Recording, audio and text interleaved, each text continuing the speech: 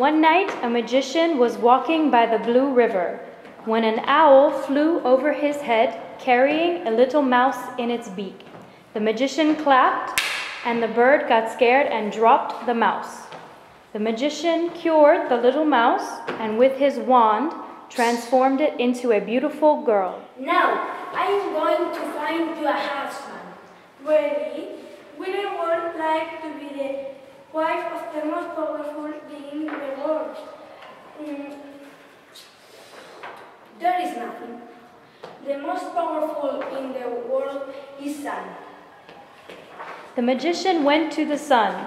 He couldn't get very close to not burn.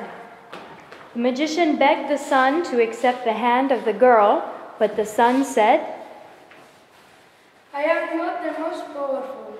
What? It only takes one coal to cover me and block my life. Certainly, the coal is more powerful than me. Immediately he went to find the most beautiful cloud that there was in the sky. The magician spoke with the cloud and offered him the hand of the young girl, but the beautiful cloud said, I am not the most powerful thing in the world. The wind is pushes, pushes, pushes me.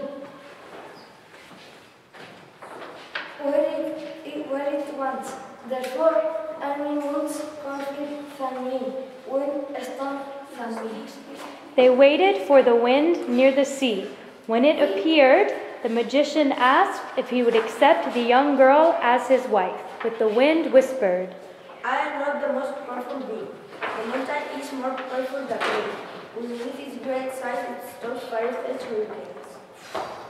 They went to look for the tallest mountain, and when they found it, the magician repeated his offer. But the mountain, with a deep voice, told him, There is something powerful from me. In the little mouse that all my outside and in live inside of me, alive my will. My power will divide a stone in no in order to inspire respect in the little animal. Certainly, the little mouse is the, is the most powerful in the world.